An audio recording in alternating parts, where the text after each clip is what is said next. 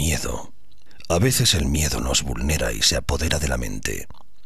El miedo no mata, pero impide cualquier acto vital. El miedo obliga a la postración hasta la excrecencia y deja exánime el espíritu. El miedo nos aplica un macilento abatimiento, al que amablemente llamamos depresión.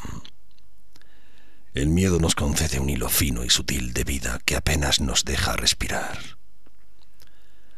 El miedo, sin aniquilarnos, nos permite malvivir, como un crápula, embriagado y maltrecho dentro de un útero reseco y estéril. El miedo nos revela la iniquidad de la que somos capaces. El miedo nuestra propia demencia cuando ocasionalmente recuperamos la razón.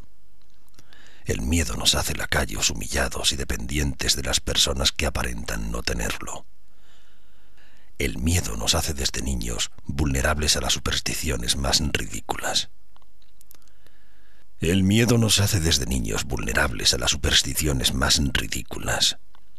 El miedo nos desvela la fatuidad de los falsos héroes.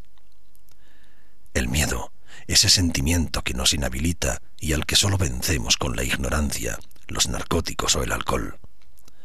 El miedo a la oscuridad, las tinieblas, que son la representación gráfica de la nada, y la nada para el ser humano incluye la muerte y el final de todo, es el primer miedo que experimentamos.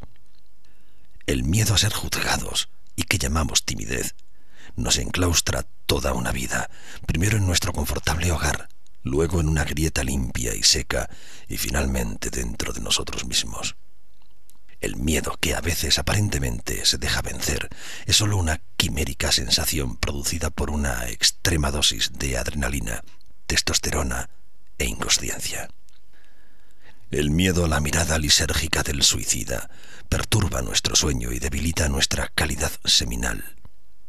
El miedo disfraza de amorosa fidelidad el maltrato, la dominación y el lento proceso de destrucción personal. El miedo es la más contagiosa de las emociones humanas, mucho más que el júbilo.